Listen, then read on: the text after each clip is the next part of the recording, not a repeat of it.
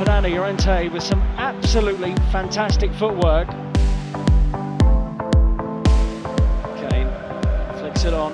Llorente. Kane! 1-1. It had to be Harry Kane. And the introduction of Llorente pays off swiftly.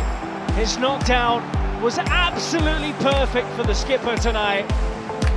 Eriksen will put a whip on that! It's cracked in! Fernando Llorente only on the pitch for a matter of minutes and he clips it in. Pirelt! Oh, it's gone into the net!